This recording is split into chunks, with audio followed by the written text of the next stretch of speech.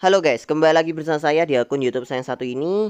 Dan sudah cukup lama saya nggak upload Genshin Impact Baru bisa upload lagi hari ini ya. Awalnya saya mau bahas tentang storynya Tapi sekarang ini sudah cukup jauh dari story awalnya ya. Dan saya rasa kalau misalnya kalian lihat story gitu mungkin akan bosen kalian. Terutama storynya itu bahkan bisa sampai 30 menit lebih. Jadi isinya itu cuma cerita nggak ada gameplaynya. Jadi takutnya kalian bosen. Jadi di sini nanti video-videonya saya mungkin akan jauh lebih fokus membahas gameplay sama tutorial yang mungkin akan membantu ke kalian ke depan ya bagi kalian yang tertarik untuk main Genshin Impact guys. Oke jadi langsung saja kita masuk ke video yang hari ini. Hari ini saya akan memperlihatkan gameplaynya di look sama akan membahas tentang dikit-dikit tentang di look ya. Jadi langsung saja kita masuk ke videonya guys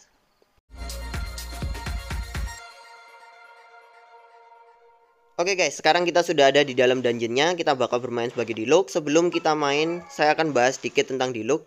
Jadi di sini ini Diluc yang saya punya itu Diluc uji coba atau trial doang ya. Saya nggak punya yang permanen. Kalau misalnya kalian mau yang permanen, kalian harus ngegacha. Dan kalau ngegacha itu cukup sulit untuk dapatnya ya. Karena Diluc ini karakter bintang 5 guys. Karakter bintang 5 itu persentasenya itu kecil banget. Saya lupa berapa, 0, berapa gitu. Nah, di look ini termasuk karakter bintang 5 jadi sulit banget untuk kalian dapetin. Kalau misalnya kalian dapet, di look ini termasuk karakter yang wajib kalian naikkan karena bagus banget. Lalu di sini saya kasih tips ya ke kalian ya. Kalau misalnya kalian dapet karakter yang trial kayak gini ya atau karakter uji coba, kalian bisa tiru komposisi set artifactnya ya. Kalian foto aja atau senjatanya juga ini kalian lihat. Nah, itu kalian bisa ngeset sama kayak yang dipakai, guys. Biasanya yang di set ini biasanya sudah bagus sama karakternya. Jadi kalau misalnya kalian dapat karakter uji coba kayak gini, set aja sama kayak gini kalau kalian bingung mau ngeset apa. Oke, jadi langsung saja kita masuk ke gamenya guys.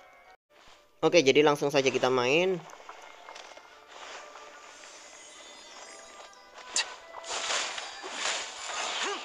Bisa kalian lihat ya, damage-nya di look ini sakit banget guys. Tapi memang karena di look sendiri ini karakter bintang 5 jadi memang bagus ya guys. Lalu dia ini kalau nge-skill bisa tiga kali guys. Ini yang buat dia juga bagus guys. Skillnya dia yang tiga kali ini bisa digunain untuk ngelawan bos-bos tipe elemental ya guys. Jadi berguna banget kalau ngelawan bos-bos yang tipe elemental guys.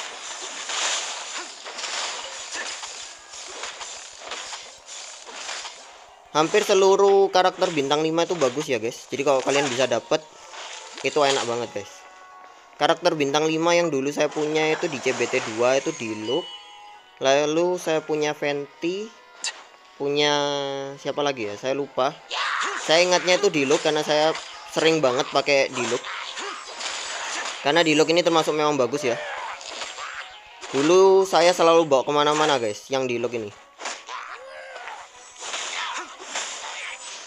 Bisa kalian lihat ya damage nya dia ini sakit banget guys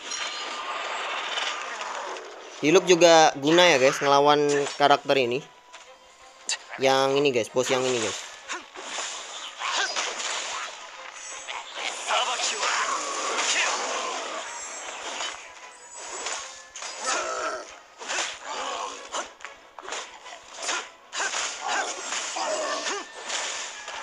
Oke.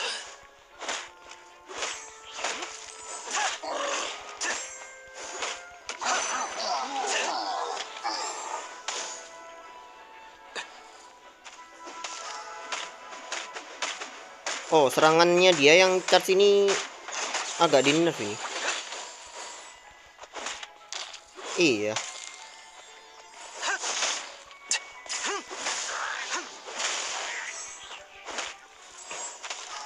Serangannya dia yang ini di nerf, guys. Yang ini ya. Di nerfnya itu di nerf apa? Jadi lebih lambat, guys. Dulu jauh lebih cepat dia nyerang di CBT 2.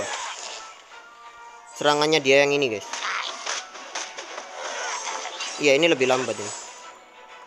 Dulu di CBT 2 jauh lebih cepat. Oke guys, ini yang ada dulu di CBT 2 ya. Saya sempat pernah punya di look. Nah ini ya bisa kalian lihat dia jauh lebih cepat guys. Yang sekarang jauh lebih lambat ya.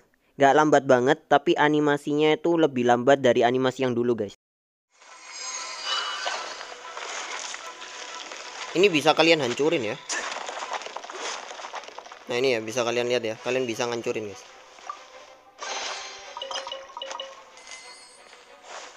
Ini juga guys. Nah ini bisa kalian hancurin.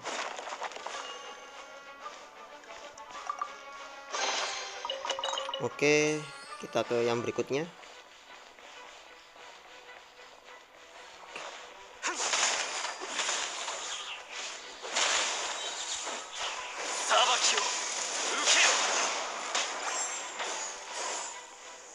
Oke okay guys, karakternya saya sekarat.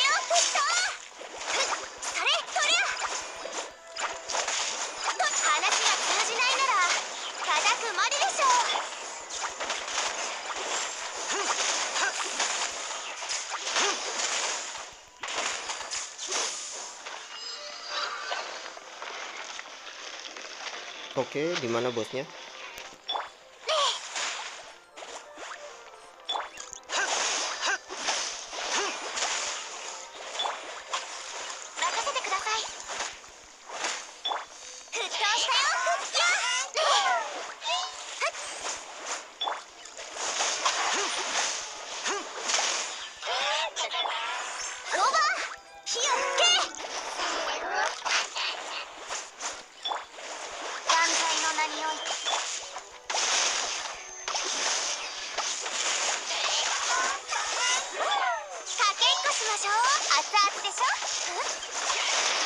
Oke okay guys, saya fokus bentar ya.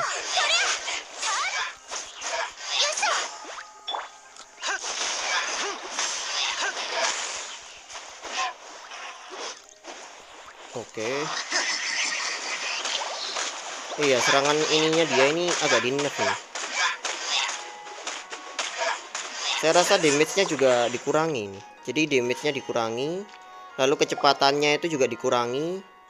Lalu ini guys, konsumsi stamina-nya juga jauh lebih banyak. Tapi memang ya, semuanya ya sekarang ya, konsumsi stamina semua karakter sekarang jauh lebih banyak daripada yang di CBT 2 menurutnya saya, guys.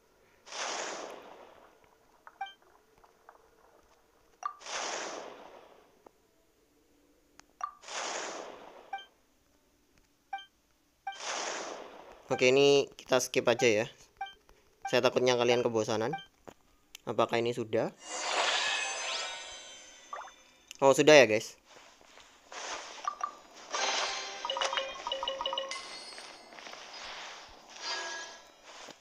Oh itu harusnya bisa dihancurin Oh sudah ya Oke guys kita keluar Oke guys, jadi itu dia sedikit pembahasan tentang Dialog sama gameplaynya. Nanti kalau saya dapat yang permanen mungkin saya akan bahas lebih lanjut dan lebih detail lagi, terutama di bagian artifact, constellation, talent, dan kawan-kawannya ya. Oke, sekian dulu video dari saya. Terima kasih untuk kalian semua yang sudah menonton. Kalau misalnya ada yang kalian mau tanyakan, tanyakan saja. And see you guys in the next video. See you guys.